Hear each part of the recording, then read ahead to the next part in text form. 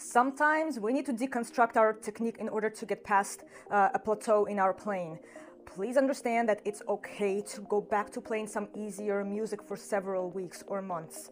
And actually, this is often recommended. It's not easy to break out of an undesired habit, so taking a step or two back can be very beneficial in the long run. And in fact, this is something that I did early on in my undergrad studies when I was first introduced to the Dounis method.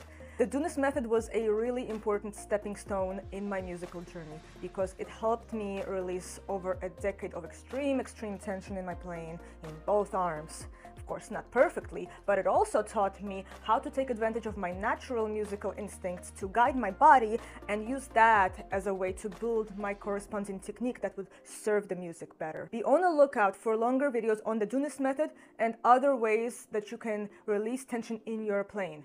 Don't forget to subscribe, hit the notification bell, and happy practicing.